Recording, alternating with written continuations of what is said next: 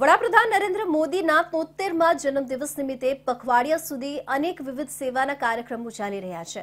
જે અંતર્ગત ઓલપાડ તાલુકા ભારતીય જનતા પાર્ટીના ડોક્ટર સેલ દ્વારા આયોજિત મેગા મેડિકલ કેમ્પનો વન અને પર્યાવરણ રાજ્યમંત્રી મુકેશ પટેલના હસ્તે શુભારંભ કરાયો હતો. આ વેળાએ મંત્રી મુકેશ પટેલ તથા સંગઠનના સભ્યોએ ભાગ લીધો હતો.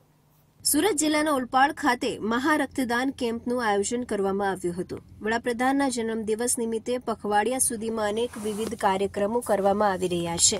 જીવન રક્ષા હોસ્પિટલ દ્વારા ઓર્ગન ડોનેટ તથા બ્લડ ડોનેશન વિશે પણ લોકોને જાગૃત કરવામાં આવી રહ્યા છે. હોસ્પિટલ દ્વારા આંખના દર્દીઓને વિનામૂલ્યે ઓપરેશન કરવામાં આવતા હોવાની વિગતો મંત્રીએ આપી હતી. સાયણની જીવન રક્ષા હોસ્પિટલ ખાતે આયોજિત કાર્યક્રમમાં મોટી સંખ્યામાં વિવિધ રોગો અંગેની તપાસ કરવામાં આવી હતી, જેમાં મોટી સંખ્યામાં દર્દીઓએ કેમ્પનો લાભ લીધો હતો.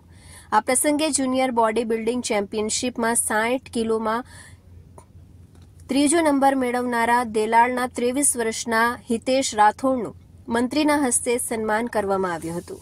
દેશના વડાપ્રધાન નરેન્દ્રભાઈ મોદી સાહેબના ટોટેસમાં જન્મદિન નિમિત્તે સમગ્ર ભારતની અંદર પંદર દિવસ સુધી અલગ અલગ પ્રકારના બધા સેવાના કાર્યક્રમો ચાલી રહ્યા છે. ત્યારે આજે Olpad Bharatiya Janata party doctor cell તરફથી અમારી જીવન રક્ષા હોસ્પિટલની અંદર મેડિકલ કેમ્પનું આયોજન કરવામાં આવ્યું. સાથે સાથે ઓર્ગેન ડોનેશન માટે, બ્લડ ડોનેશન માટે પણ લોકો સાથે અપીલ કરવામાં આવી છે.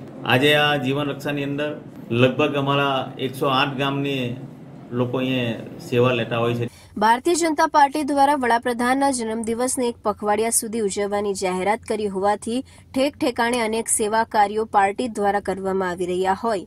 ઓલપાડના સાયણ ખાતે મહારક્તદાન કેમ્પ સહિત સ્વાસ્થ્ય ચેકઅપ કેમ્પ પણ યોજાયો હતો, જેનો સેંકડોની સંખ્યામાં લોકોએ લાભ લીધો હતો.